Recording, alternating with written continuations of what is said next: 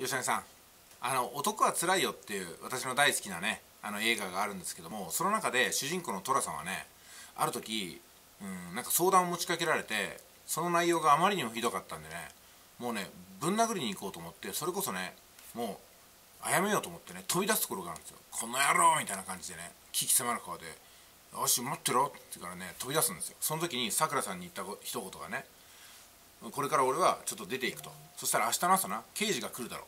そして、えー、ここで俺のことをいろいろ聞くだろうからさくらお前はこう答えろ。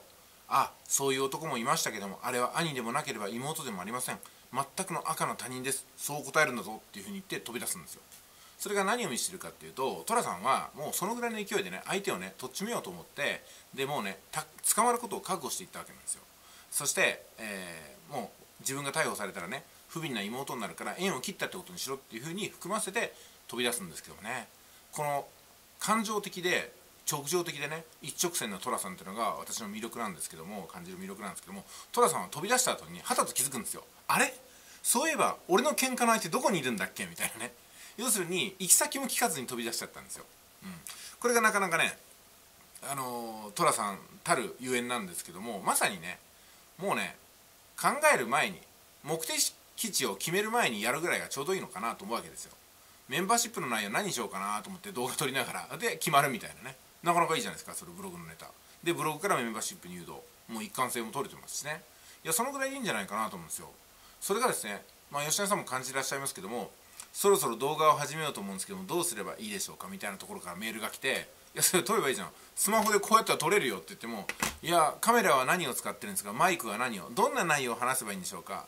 ねこの格好でいいでしょうか？顔出しはどうも」みたいなね。やり取りが長いんですよね。スタートするまでが長いっていうか長いのにスタートしないんですよ。いやーこれでは稼げないですね。お金は向こうからやってきてくれませんからね。こちらの方からお金をつかみに行かないといけないという時に発信一つで躊躇する人にね誰が金払うんや？みたいな。そんな今思いがありますよね。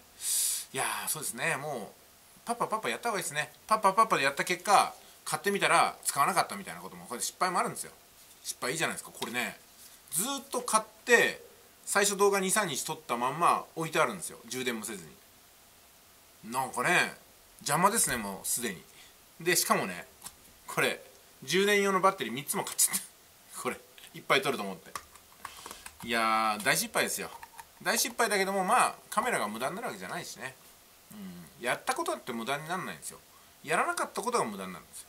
これが今日のタイトルです。やったことは無駄にならない。やらなかったことが無駄になる。これどうですか？いってらっしゃい。